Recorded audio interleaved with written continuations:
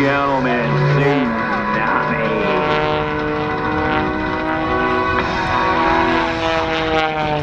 Now next up for Greg is a half ounce